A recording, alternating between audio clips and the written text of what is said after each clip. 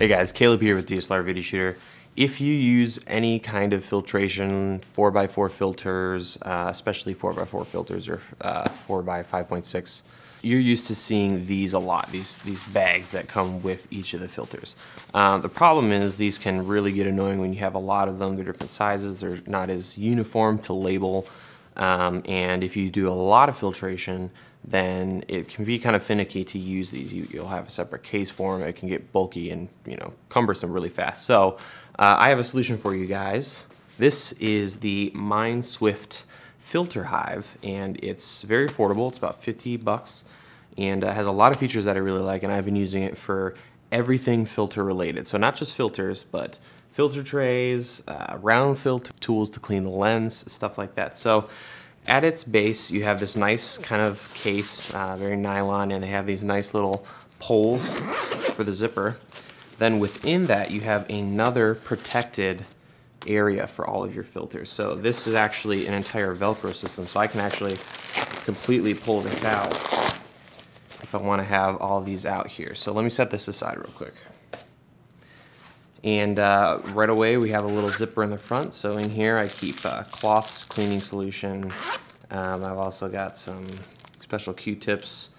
And uh, then we see the actual hive and they're really nice because they're color coordinated here so you can you know, have your most used filters in certain colors.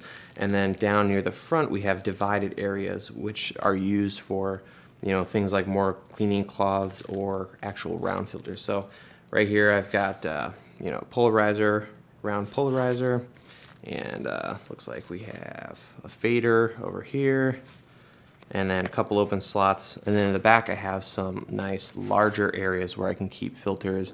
And you can really mix and match it. You can stick the filter in there on its own. There's a really soft special felt that's gonna protect the filter.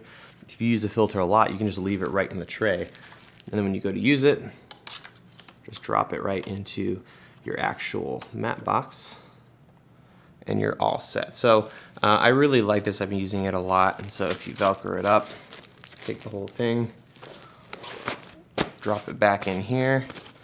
And uh, another nice feature is on the back here we have a little uh, clasp here or strap and then another Velcro strap. So this would allow you to attach this to a tripod or a belt if you're into that. Um, just really flexible, very useful tool.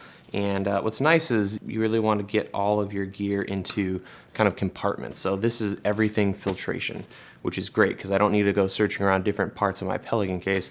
I can just drop this whole thing in a bag and everything I need for filters is in this bag. So that's the MindShift Filter Hive around 50 bucks and you can find it at dslrvideoshooter.com below this video. Stay tuned for more reviews and tutorials over there.